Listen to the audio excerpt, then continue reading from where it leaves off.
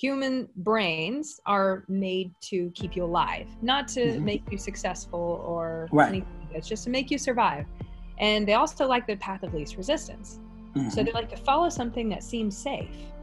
And so if you have clarity and vision, then you have it a little more organized than people who haven't taken the time to Mhm. design their destiny, to figure Right. out what really matters. And so you'll literally attract people who are looking for something to follow just for taking the time to get clear.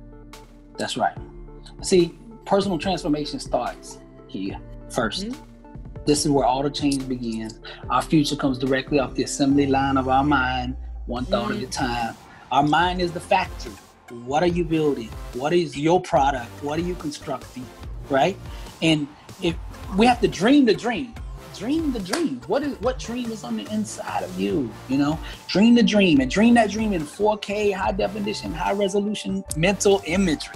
See that thing, smell that thing, taste that thing, touch that thing. Make it so big in your mind that it has no place to go except into the physical.